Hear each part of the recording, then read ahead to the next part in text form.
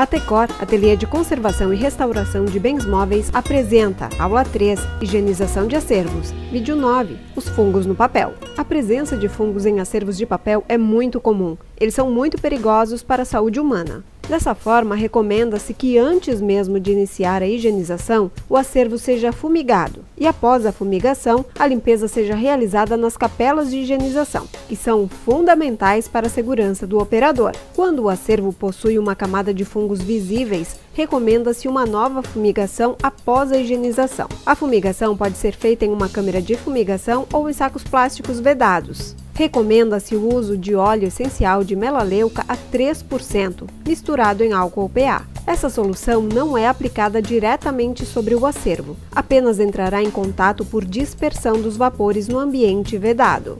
Em caso de dúvida sobre a aplicação ou sobre a confecção de uma câmara de fumigação, recomenda-se entrar em contato com o Atecor. Além do acervo em papel, alguns outros objetos também podem ser fumigados, tais como pinturas sobre tela e esculturas. Mas atenção! Fotografias e negativos não devem ser submetidos a esse processo, já que a emulsão fotográfica pode se deteriorar.